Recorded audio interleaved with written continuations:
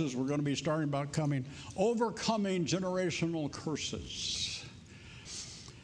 How many of you have ever heard the phrase something like this? Well, you know, the apple doesn't fall far from the tree. How about that? You know, they're just like so and so. Or just my lot in life. Or, well, you know, that's just the way it is. The same thing happened to grandpa and great grandpa and great great grandpa. So the same thing's going to happen to me. And my name is Grandpa Eeyore. We all of us have likenesses or characteristics from our families. Some good, and some maybe not so good. we have family resemblances, we have family dispositions, we have inherited character traits and personalities. And as we grow a little bit older, we start to notice stuff. We have inherited certain characteristics from certain relatives we have things from our mom's side and things from our dad's side. And we'd all like to have the best from each side, wouldn't we? Well, yeah. Problem with that is some of you don't have a good side. We'll get to that. Bless God. Hallelujah. There's help for you. One of the things that's interesting, and you can check this out, in fact, you might want to, is, is, is you look at the way um, the Jewish tribes and their various assignments they had, and you'll start looking and you can start see inheritances in these groups. And as you look at the family trees, you start to begin to see generation strengths and weaknesses. And you'll begin to see patterns in our lives and things that bring out curses and blessings. I don't know if you knew this or not, but the Word of God is full of blessings and cursings. Now, I believe God wants us to be enlightened and, and, and, and find out if there's some hidden causes of defeat in our families and, and root out those stubborn and entrenched blockades to victory that we have in our lives. How many of you would like to just be victorious all the time? Amen. Amen. Remember a while back we talked in Matthew 15, 13. Matthew 15 and 13. Jesus answered and said, Every plant which my Father has not planted shall be rooted up. Remember that? As we discover some truths that are in the Word of God, and here's the operative phrase, and apply it apply it to our personal lives, we're going to start establishing within ourselves a blessing for our present and future generations until the Lord comes. I believe seriously that all of us want to live a life of abundance and uh, peacefulness and joy and fulfilling our victory in Christ Jesus all the time. I believe that's all we want to do, not only for ourselves, but also for our kids and grandkids and generations to come. How many of you know this is not rocket science? How many of you know that a coin has two sides? God is love, right? Exodus chapter 20, verse 5 says, Thou shalt not bow down thyself to them, this referred to idols, nor serve them. For I, the Lord God, am a jealous God, visiting, now watch this, the iniquity of the fathers upon the children unto the third and fourth generation of them that hate me. Whew. Then the other side of the coin, Deuteronomy chapter 7, verse 9 Know therefore that the Lord thy God, he is God, the faithful God, which keepeth covenant and mercy with them that love him and keep his commandments to a thousand generations. Do you want to be blessed? That means empowered to prosper. Or do you want to be cursed? Do you want your children to be blessed? Or do you want your children to be cursed? See? Nothing really seems to touch us more than our kids. Amen. I mean, you know, once you get over the, he's touching me on vacation, you know, you get rid of that. Every once in a while, you know, you love your kids. I know. I come on, I'm joking with you. Amen. Like the boy said, I didn't ask to be born. The dad said, Yeah, if you would have, the answer would have been no.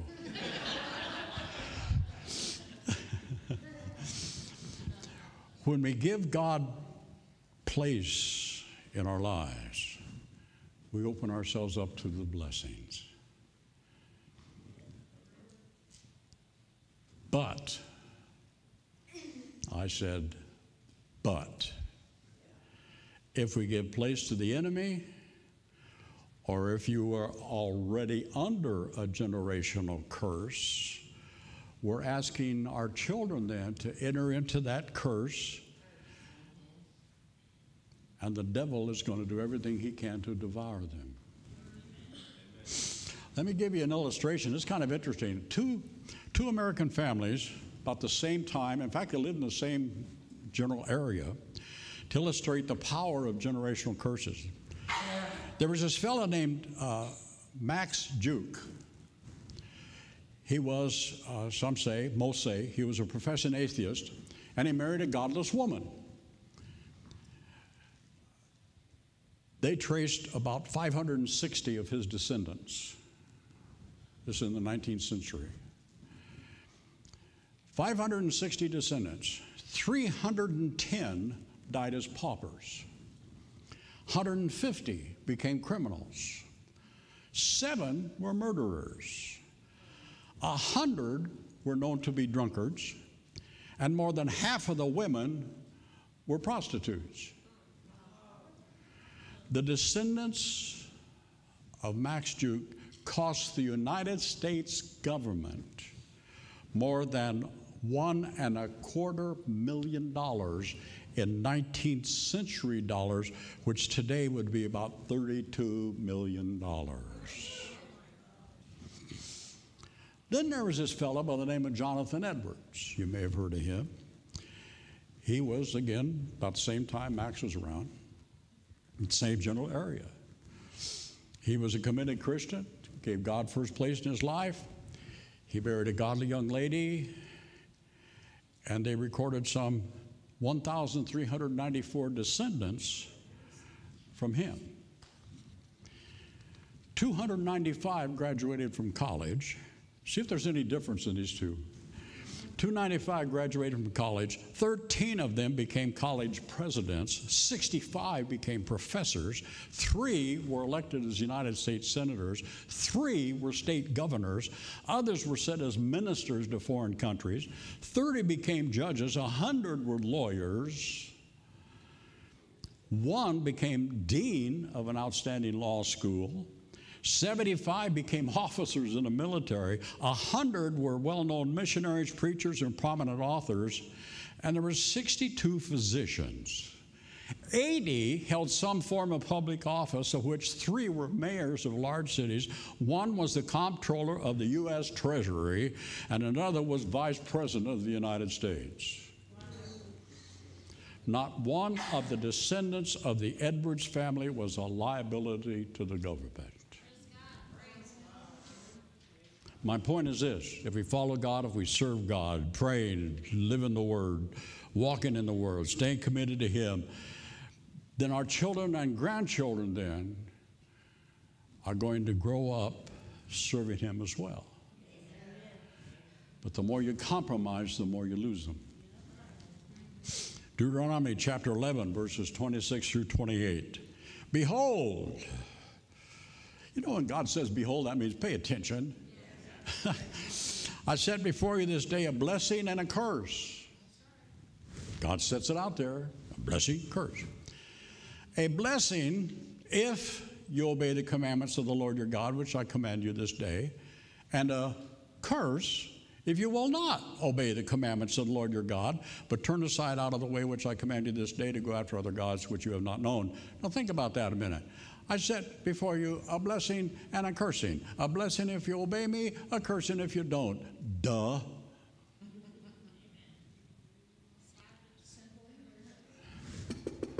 Hello. Deuteronomy chapter 28, first two verses. It shall come to pass God cannot lie. If thou shalt hearken diligently unto the voice of the Lord your God to observe, to do all his commandments that I command thee this day, that the Lord thy God will set thee on high above all nations of the earth. Verse 2 And all these blessings shall come on you and overtake you if you hearken unto the voice of the Lord your God. Hallelujah. If I'm going to get run over, I want to get run over by a blessing, not a curse.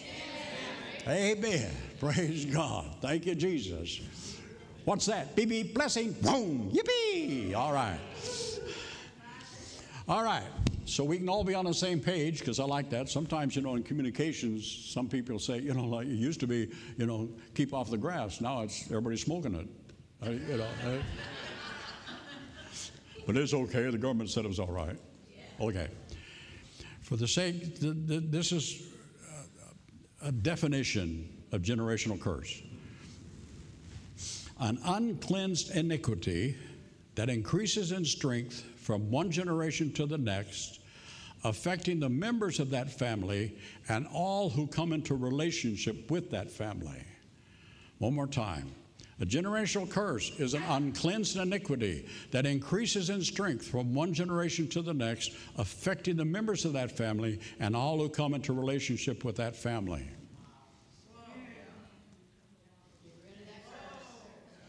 You're all given that little test this morning. And I can tell you this, just from my own personal experience, life experience. If you couldn't find out anything on there to hit you, Maybe you weren't reading it.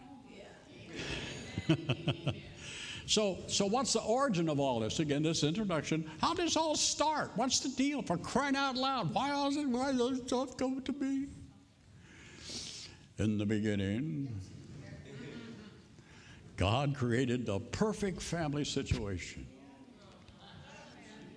He created Adam and Eve, and He placed them in the garden a place of total wonderful things, a utopia, so to speak. Everything taken care of. They walked and talked with God. No problems.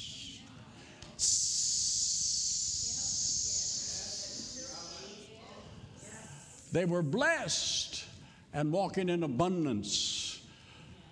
No problems. Hey, what's that calling on the ground? Okay, there. Genesis chapter 1, verses 28 and 30. And God blessed them, empowered them to prosper. And God said to them, I believe, Leinenbach theology, I believe that right here, when it says God said unto them, I believe all earth became silent. I really do. I think the birds shut up. I think the trees quit moving in the breeze. I think everything just quiet. And God said unto them, Be fruitful, multiply, replenish the earth, subdue it, have dominion over the fish of the sea, over the fowl of the air, and over every living thing that moves upon the earth. And God said, Behold, I've given you every herb bearing seed which is upon the face of all the earth, and every tree and that which is the fruit of a tree yielding seed. To you it shall be for meat. And to every beast of the earth, to every fowl of the air, and to everything that creepeth upon the earth. Don't you love you have authority over creeps? Wherein there is life, I have given every green herb for meat, and it was so. Now, most of you, of course, are aware of the situation that happened. They walked in the fullness of God's provision, and, and, and the enemy comes along to seize Adam.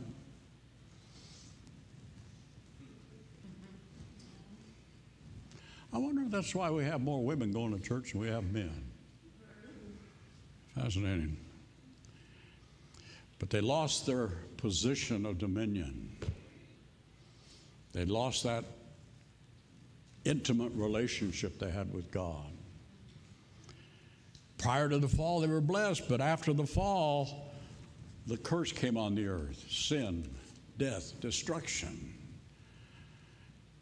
And the family, as God originally created it to be, hasn't been the same since.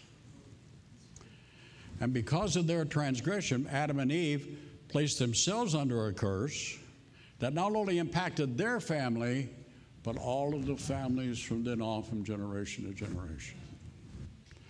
Now, you may say, well, bless God, I'll just blame them. No, we're going to get to you and your area of responsibility, and you'll be happy after you get over it. Amen. Genesis chapter 3, verse 16. Unto the woman he said, I will greatly multiply thy sorrow and thy conception. In sorrow thou shalt bring forth children, and thy desire shall be to thy husband, and he shall rule over thee. And unto Adam he said, Because thou hast hearkened unto the voice of thy wife,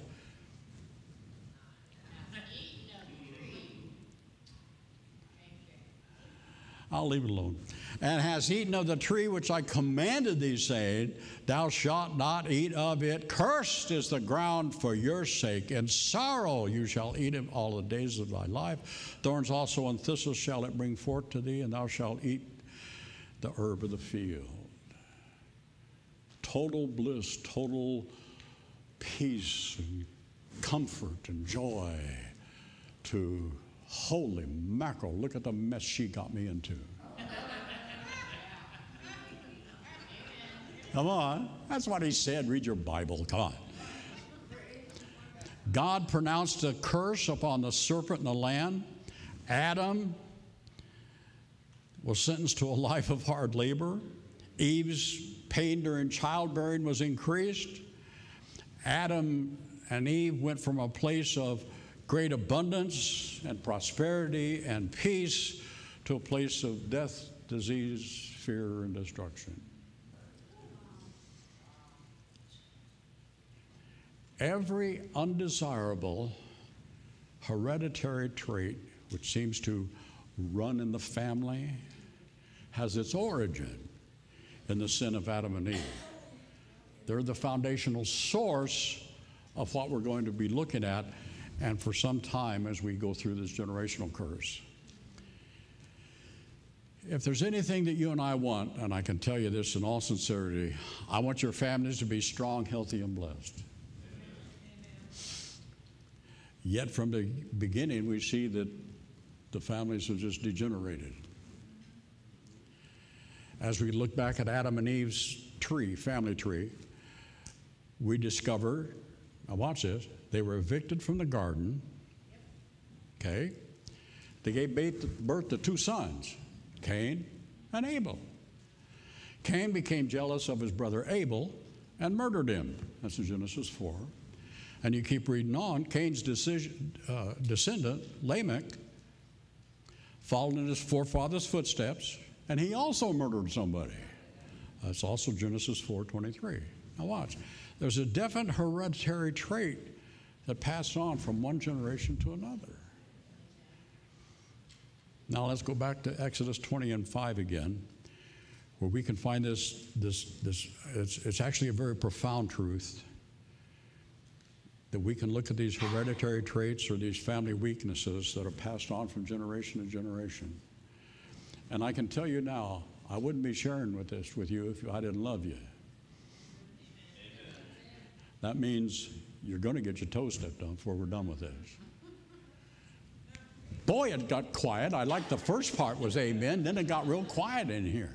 I'll talk to these people back here. Bless God, they're on my side. Amen. Thank you very much. All right. Exodus 25, thou shalt not bow thyself to them, nor serve them, for I, the Lord thy God, am a jealous God, visiting the iniquity of the fathers upon the children, and to the third and fourth generation of them that hate me. I'm sure if you just think about for a minute, everybody in here can look at some, maybe your own family, but you look at families that have been torn apart by alcoholism, obesity, teenage pregnancies. As we look at our own family trees, we might recognize certain patterns of diseases or certain infirmities or certain characteristics such as adultery or child abuse and think, wow, my family tree is a mess. Yes, it is. I said, yes, it is. Yes, it is. Don't panic. God's made a provision, thank God, for you and for your future generations if you apply these things that we're going to be talking about.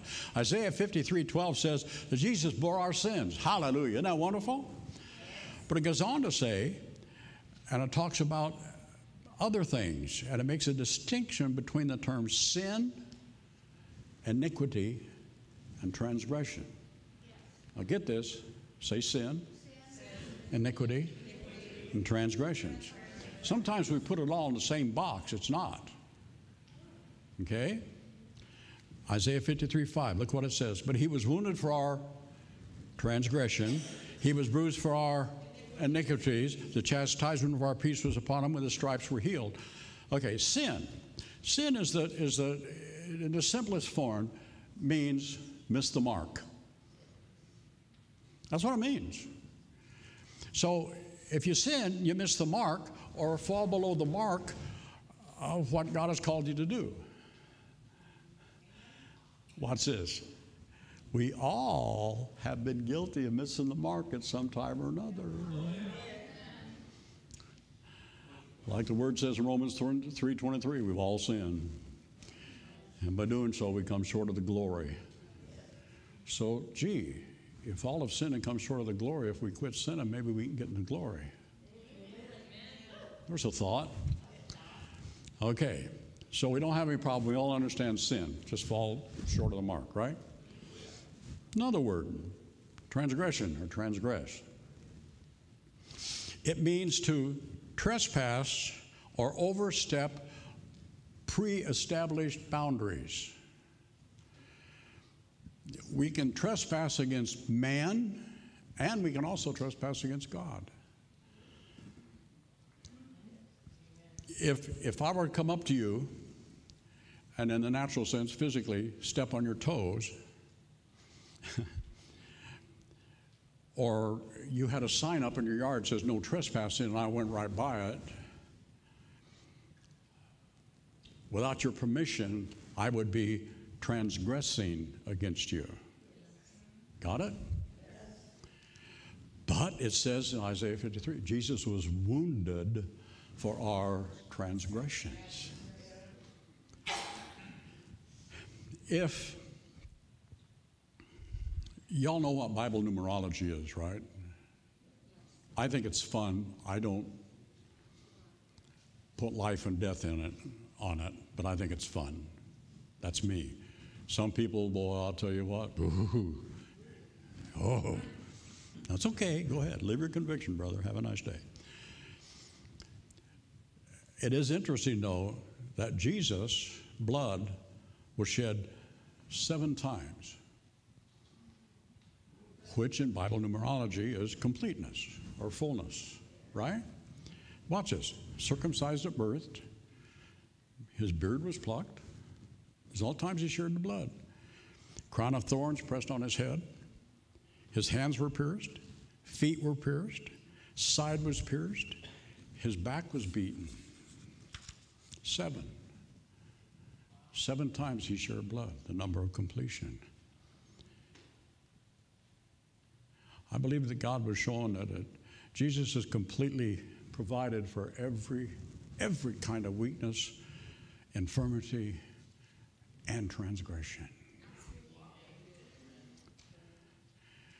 Because he took seven wounds for us. You can truly say that the provision of Jesus Christ is full and totally complete. Okay, we've talked about sin, transgression. Next one, iniquity. This is the biggie. It means to bend or distort the heart. Get the phrase bend or distort the heart. It also implies a certain weakness or predisposition towards a certain sin.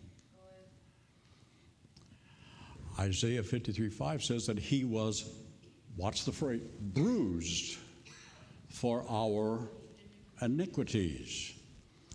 For instance, if you commit a sin once and repent of it, never do it again, it's, that's it. No problem.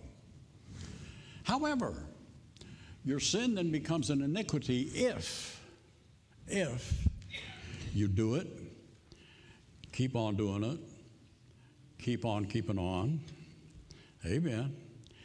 It goes from being a sin to an iniquity. An iniquity is the same sin over and over and over and over. And remember the definition bend or distort the heart. Get hold of this. Something that's practiced over and over again, and eventually it just becomes spontaneous. And given certain circumstances or the right environment, you will bend in that direction. If a sin is re- repeated over and over, it eventually becomes an iniquity, and that is what's passed down through the bloodline. When a person continually transgresses the law, iniquity is created in him, and then iniquity is passed on to the children, and the offspring will have a weakness for that same kind of sin.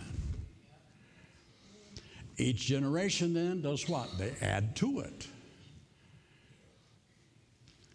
Further weakening the resistance to be able to stand against it. On down to the generations. Because we read in Exodus 25, it speaks very specifically about the iniquity of the fathers. If the family tree is not cleansed of the iniquity, then each generation will become worse and worse and worse and will do what their parents, grandparents, and great grandparents do, period.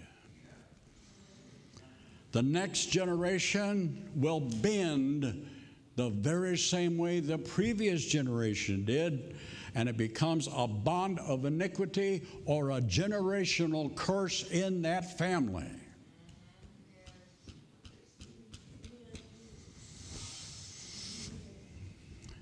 I'm sure most of you have, have seen where maybe uh, folks you know, one or both parents uh, or grandparents were alcoholics. I never was an alcoholic because I never had to go to those meetings. Okay? And then lo and behold, one of the offspring becomes an alcoholic. Gee. And to think it all started as a sin with that one person who overindulged, but because they practiced it and practiced it and practiced it, did not repent, but kept on doing it, their drinking, their sin then became an iniquity, which is passed on from generation to generation. And bless God, that's why it's easier for the kids of alcoholic parents to become alcoholics themselves because it's passed down from generation. I'm not giving you any excuses because there's a way out of this, but I'm telling you that's how it happens. Every one of us has somebody in our family tree that's a dork. Amen. there was this uh, particular individual who was a Christian, strong Christian, and and her, this lady's father had two nervous breakdowns. They didn't know later, until later, but his father had mental problems and emotional problems. They never thought that could be an inherited trait or something that they had a predisposition towards. This person, when they were a strong Christian now, strong Christian, this is important. When they were 36 years old, this person became under a lot of pressure. They were in ministry, a lot of pressure in ministry for some people. And the enemy spoke to them and said, You look and act just like your father. You're going to have a nervous breakdown just like he did.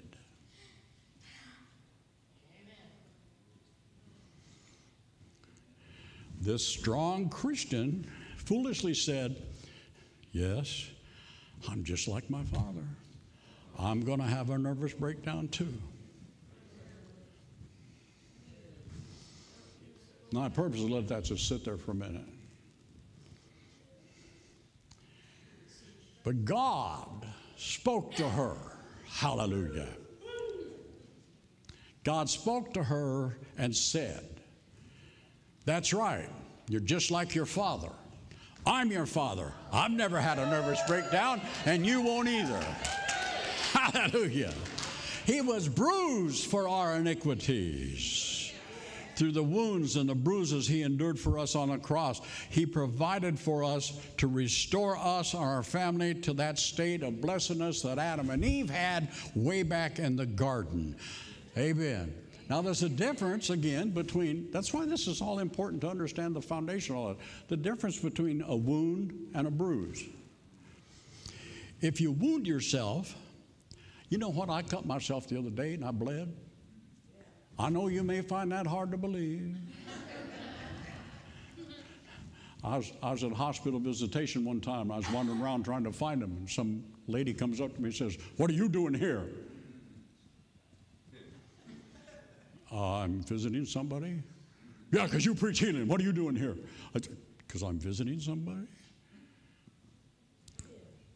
Ignorance is as ignorant does. Okay. Amen. If I'm sick and I, I can't get on top of it, I go to what's known as the doctor, folks.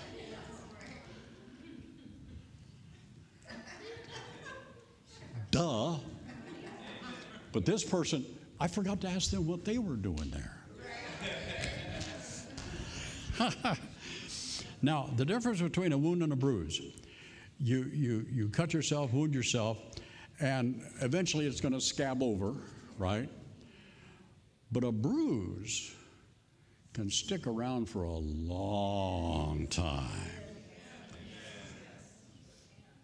It, it may become discolored, and, and if you ever really banged yourself, it go all the way to the bone. An iniquity can be compared to a bruise because it stays around and it goes to the bone from generation to generation to generation. He was bruised for our iniquities. Mm. Wow. In fact, the Apostle Paul had a revelation of that. In second, second, second I'm speaking of King James this morning. Second of Thessalonians. Second, see if it got it right up there. It is. Second Thessalonians 2 7. Got my tongue in front of my eye teeth, couldn't see what I was saying. For the mystery of iniquity doth already work. Only he who now letteth will let until he be taken out of the way. So Paul had a, had a revelation of this iniquity and how to deal with it because he was bruised for our iniquities. But I'm out of time. I'm not finished, I'm just out of time today. We're going to pick it up right here next time. Okay? Don't miss a one of them because we're going to really dig into this generational curses and I would really recommend, if you have not taken the test, to do so.